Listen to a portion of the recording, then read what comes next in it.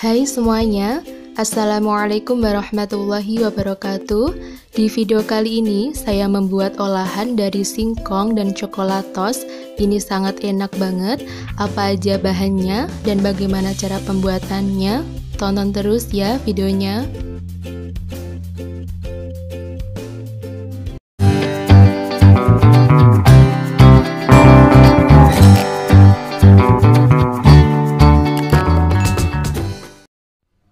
Bahan-bahannya, siapkan 400 gram singkong parut. Jika singkongnya banyak air, teman-teman bisa peras sedikit airnya.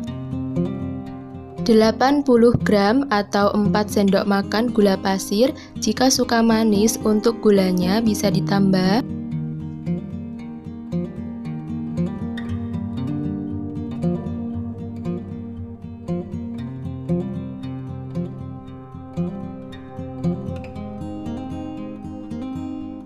Seperempat sendok teh garam, seperempat sendok teh vanili bubuk,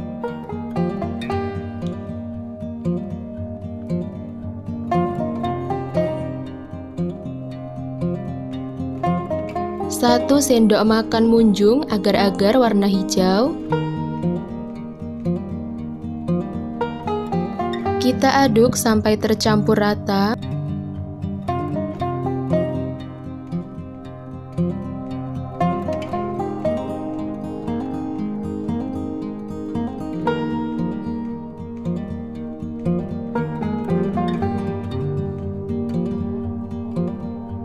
Tambahkan 130 ml santan, kita masukkan sedikit, kemudian kita aduk.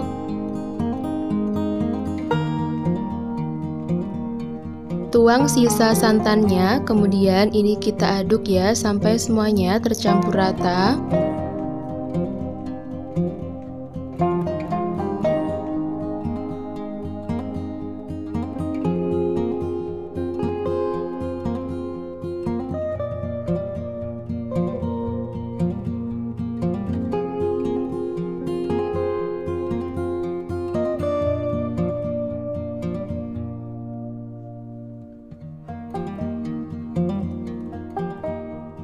Bagi adonan menjadi tiga bagian yang sama rata.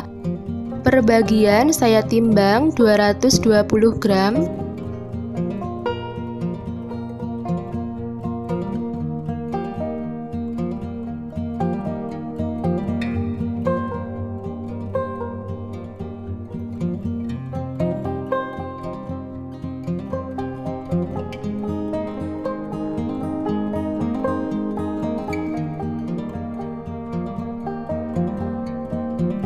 Untuk bagian pertama saya beri warna hijau.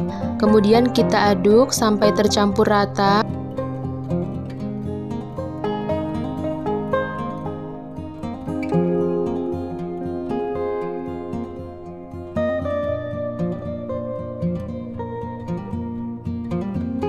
Siapkan satu saset coklatos untuk dua bagian yang lain mau saya beri coklatos.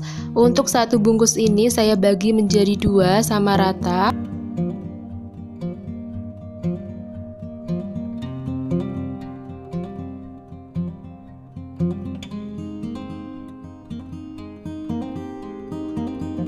Kita aduk sampai tercampur rata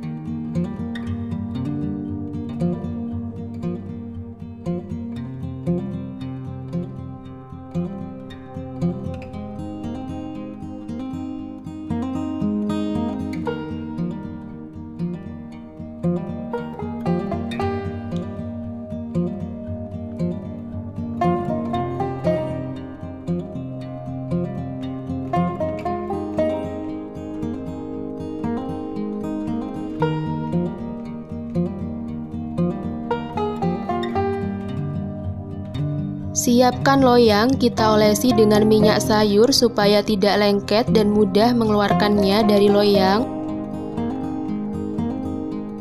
Untuk lapisan pertama, saya tuang yang warna coklat.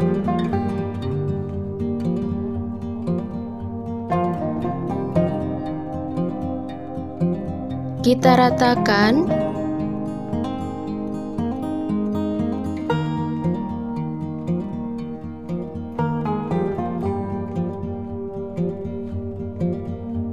Siapkan kukusan yang sebelumnya sudah kita panaskan dan kita masukkan loyangnya.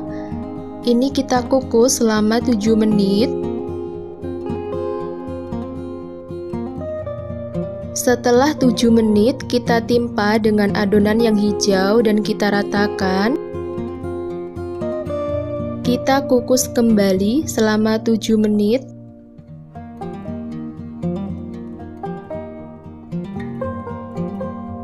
Setelah 7 menit, kita timpa dengan adonan yang terakhir warna coklat, kita ratakan. Ini kita kukus selama 35 menit atau sampai matang.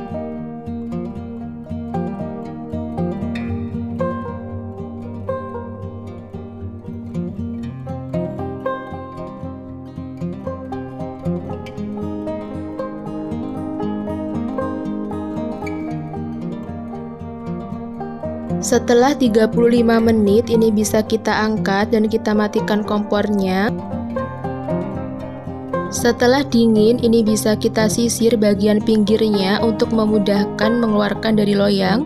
Untuk pisaunya saya lapisi menggunakan plastik supaya tidak lengket dan ini kita keluarkan dari loyang.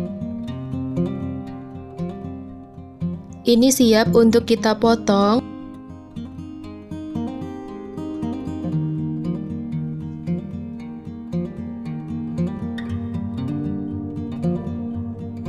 Untuk hasilnya seperti ini ya, sangat cantik dan pastinya sangat enak banget. Ini bisa jadi referensi teman-teman jika bosan mengolah singkong hanya digoreng atau direbus, teman-teman bisa coba buat seperti ini ya. Ini sangat cocok banget buat camilan di rumah. Perpaduan singkong dan coklat ini sangat enak banget, cocok banget buat ngemil di rumah, bisa untuk teman ngeteh atau teman ngopi. Sekian dulu ya video kali ini. Jangan lupa dicoba. Terima kasih banyak.